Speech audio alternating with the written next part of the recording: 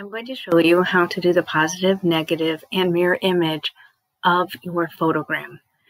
First, what I'm going to do is I open this image, and as you can tell, I didn't do a very good job of taking the image with my cell phone. So what I need to do is straighten it out and crop out the background.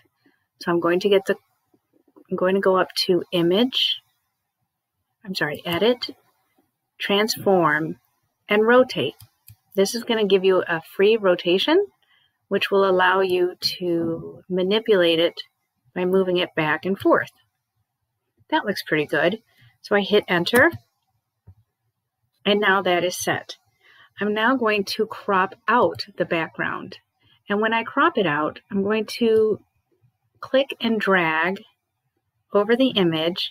And it's okay if you crop out just a little bit of your image just to make sure that you don't get any of the background in. Make sure delete cropped pixels right up here is clicked. And once I have the area selected that I want to do, I hit enter and there I have it.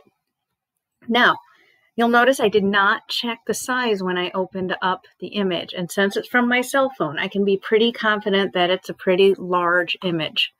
So I'm going to go to image, image size, and sure enough, it is 32, over 32 by over 46 inches. That's very large.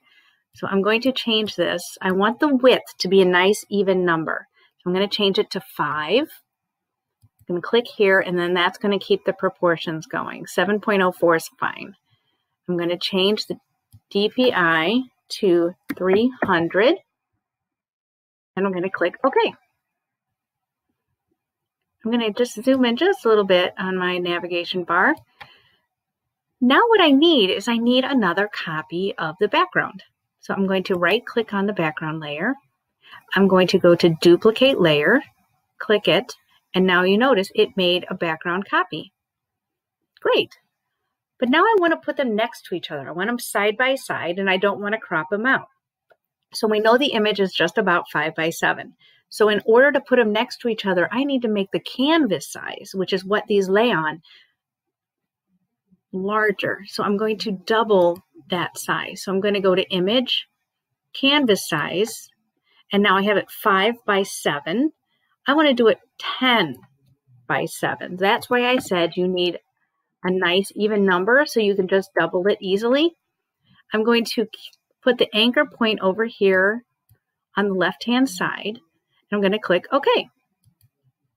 So now I have it. I've got the nice big canvas. I've got my two images are still there stacked on one another, but I need to move the top one. So I'm going to grab my move tool here, click it, scoot it on over. Boom, there it is. All right, but that's not mirrored, nor is it a negative.